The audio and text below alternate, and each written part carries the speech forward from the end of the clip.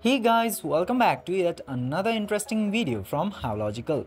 And in this video, I am going to show you how to install Microsoft Authenticator into your device. So without any further ado, let's dive right into this exciting video. Now, in order to download Microsoft Authenticator, you just simply have to open your Play Store application into your mobile phone. Then after that, tap into this search bar at top then after tapping into there, simply search for Microsoft Authenticator app. Now after searching that, this application of Microsoft Authenticator from Microsoft Corporation will appear with the blue lock logo.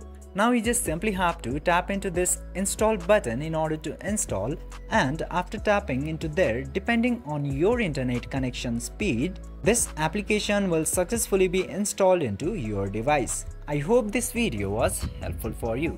If yes, don't forget to like, share and subscribe to the channel to never miss another update. Thank you for watching the video.